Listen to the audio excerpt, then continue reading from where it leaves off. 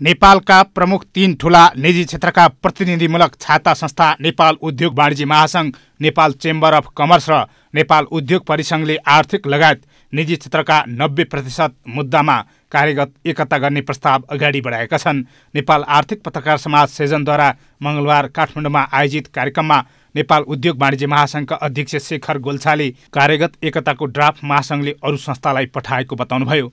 अध्यक्ष गोल्छाले बजेट मौद्रिक नीतिमा सुझाव रोजगारी वृद्धि लगायत विभिन्न त्रिपन्न बुँदामा कार्यगत एकता हुन सक्ने प्रस्ताव अगाडि बढाएको जानकारी दिँदै कार्यगत एकताको लागि आग्रह पनि गर्नुभयो। केही कुराहरूमा हामी जसमा हामी कार्यगत एकता गर्न सक्दैनौँ त्यो कुराहरू आफ्नो आफ्नो पोइन्ट अफ भ्यू पनि राख्न सक्छौँ।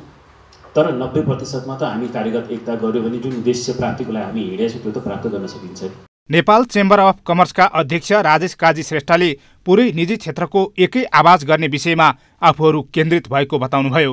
हामी सबै निजी क्षेत्र एउटै हुनुपर्छ आर्थिक इस्युमा भनेर भनेको कुरा म पूर्ण सहमति पनि छु। र अलि कोसिस पहिला गरेको थियो बिचमा भएन औ फेरि हुनेछ भने पनि म यहाँलाई म उदाहरण पनि दिन चाहन्छु। नेपाल उद्योग परिसङ्घका कार्यवाहक अध्यक्ष विष्णुकुमार अग्रवालले निजी क्षेत्र साझा उद्देश्यमा एक हुन सकी आर्थिक विकाससँगै सरकारी निकायले पनि निजी क्षेत्रका विषयलाई प्राथमिकता दिन सक्ने बताउनुभयो।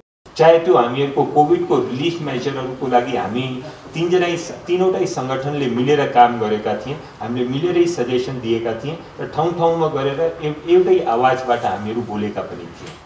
सो त्यसमा पनि हामीहरूको आवाजलाई गभर्मेन्टले राम्ररी अरू धेरै कुराहरू धेरै नीतिगत कुराहरू मोनिट्री पोलिसीबाट एड्रेस पनि भएको थियो। कार्यक्रममा अर्थविद डाक्टर पोषराज पाण्डेले राजनीतिक विवादका कारण निजी क्षेत्रको लगानी जोखिम बढेको भन्दै आर्थिक विकास र औद्योगिकरणको विकासमा एक हुन सुझाव दिनुभयो।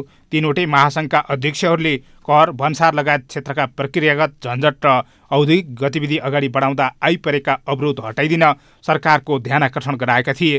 क्यामेरामा जयराज थपलिएका साथ हरिशरण नेौपाने काठमाडौँ।